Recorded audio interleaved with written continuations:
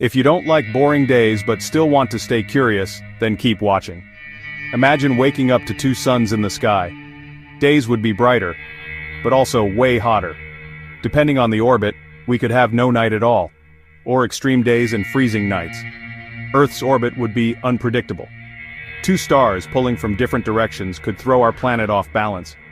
We might spiral into deep space, or crash into one of the stars. A binary star system would likely melt polar ice caps rapidly.